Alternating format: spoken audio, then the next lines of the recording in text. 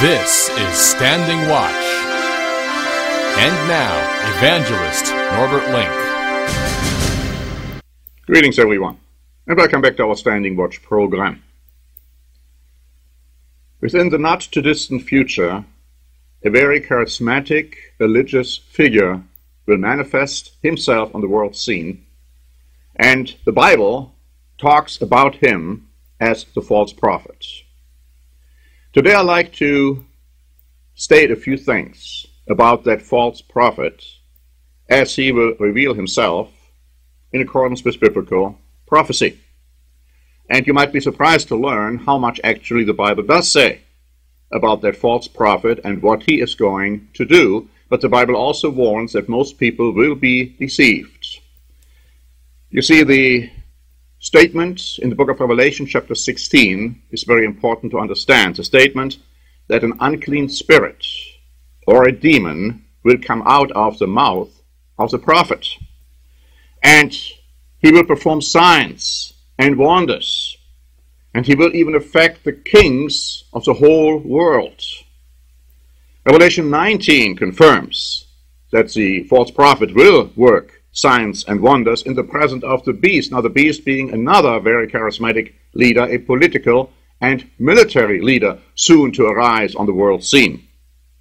And so they both will deceive most people. In fact, everyone whose names are not written in the book of life from the beginning of the world, as it says. Ultimately, we find that the false prophet, together with the beast, will be thrown into the lake of fire when Jesus Christ returns. We have a booklet. It is called The Great Tribulation and the Day of the Lord. It's a free booklet. You can actually obtain a free copy if you want. And I'd like to briefly quote from this booklet because that is what we are saying in there. This religious leader, the false prophet, will receive power to do miracles from Satan himself. He and the system that he represents is described in Revelation 13 as a beast with two horns like a lamb and spoke like a dragon. He performs great signs so that he even makes fire come down from heaven on the earth in the sight of man. And he deceives those who dwell on the earth by those signs. This system is also described as engaging in sorcery as you find in Revelation chapter 18 and verse 23. Now, another scripture defines this false prophet, and this scripture can be found in 2 Thessalonians chapter 2, beginning in verse 3. He is referred to as the lawless one, as a man of sin. We read that until and unless a falling away from the truth occurs, and the lawless one manifests himself, Jesus Christ cannot return. So these are end time prophecies. We read that according to this scripture, and I just summarize it for you now, the lawless one will sit in the temple of God, apparently a reference to a physical temple which the Jews are still going to build prior to Christ's return. He is sitting in the temple. He will claim that he is a God, or better, that he is God himself. He will come according to the working of Satan, as the scripture tells us, with power and signs and lying wonders and strong delusions to deceive those who did not receive notice the love of the truth, and who did not believe the truth, but the lie, and who had pleasure in unrighteousness.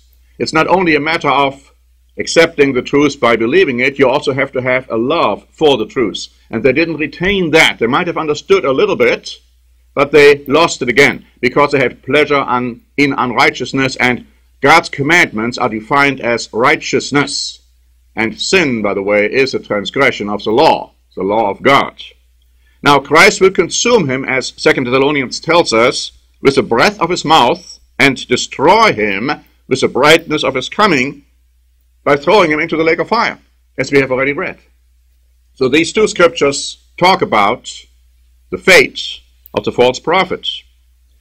Now, in describing the situation, the Ryrie Study Bible has this to say, and I, and I quote He will desecrate the rebuilt Jewish temple in Jerusalem by placing himself there to be worshipped. This will be the climax of man's great sin of self deification in open defiance of God.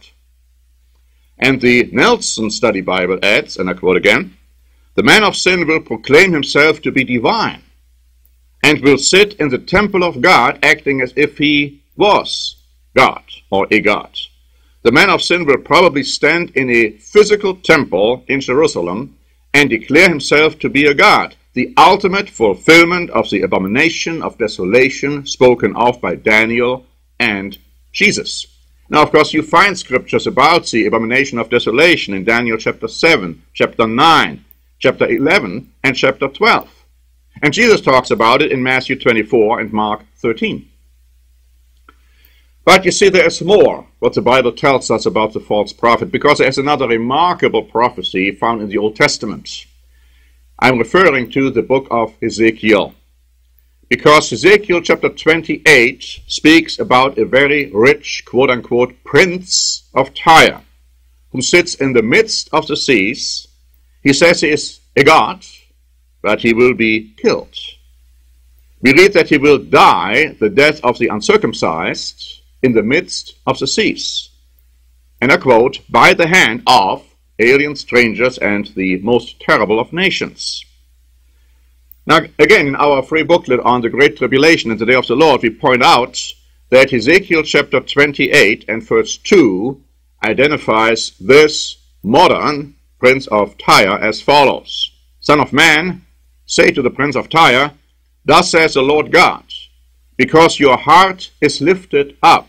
And remember, it was Lucifer whose heart was lifted up, and he became Satan the devil. See, in other words, the prince of Tyre kind of is a type of Lucifer because he is influenced and possessed by him.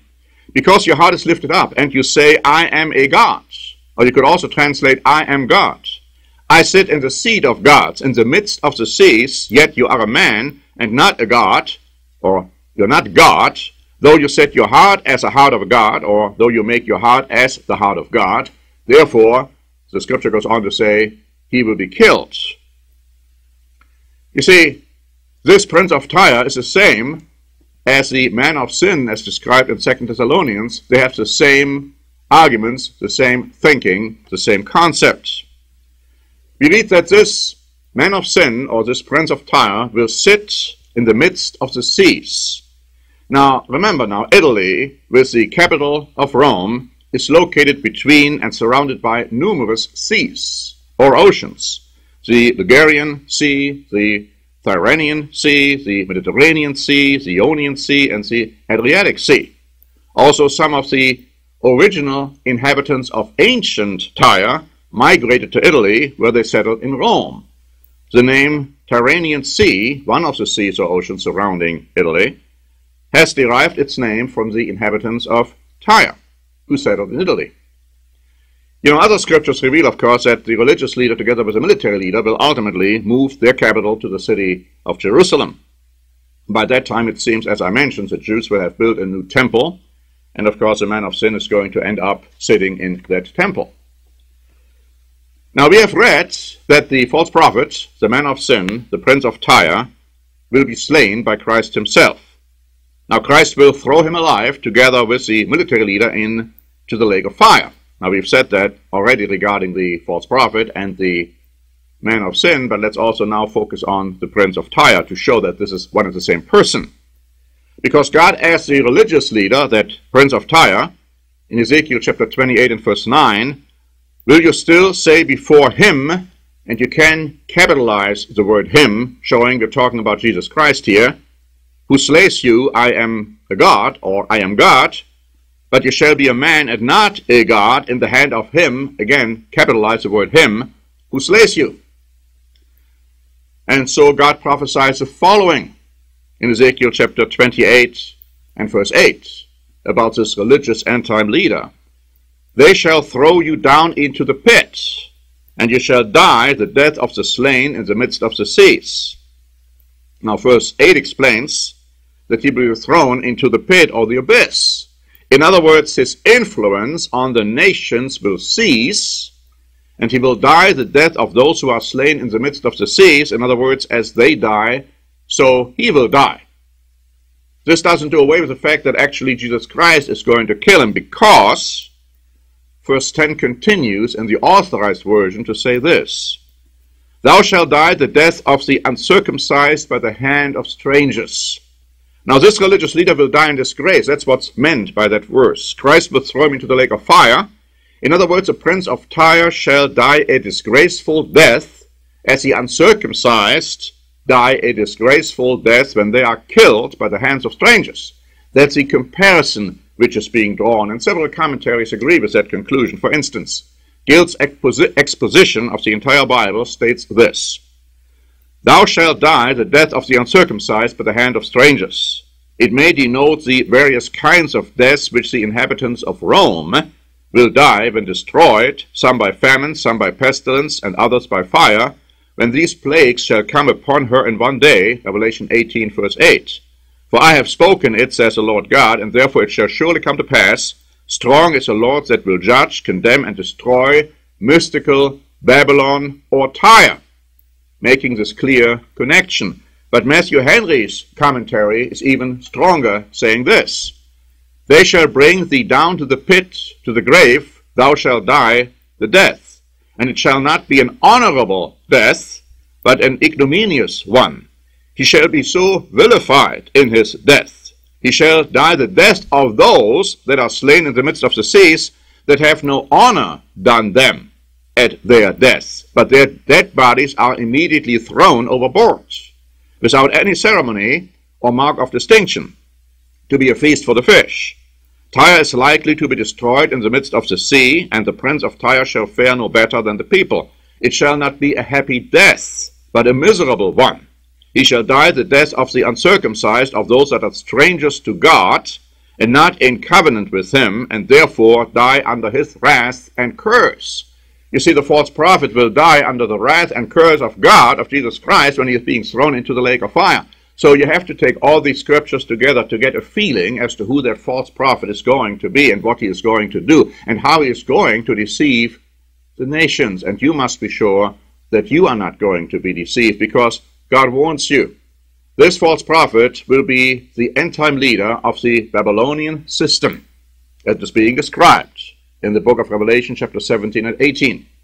And in the very verse, which I want to close this program with in Revelation chapter 18 and verse 4. What does God tell you and what does He tell me? He says, Come out of her, my people, lest you share in her sins, and lest you receive of her plagues. You see, this European revival of the ancient Roman Empire is happening in front of our very eyes. It's going to be led ultimately by two charismatic leaders, the false prophet and the beast. Most people will be deceived by them, specifically through the signs and the wonders they will do, motivated by and inspired by the Satan on satanic powers. Now, you have to be, be sure that you are not going to be deceived by them, and only when you are close to God will you be able to restrain these deceptions and stay close to God and be protected by Him when all of this is going to happen, and it is going to happen in the not too distant future. Thank you very much for listening. This is Norbert Link for the Standing Watch program.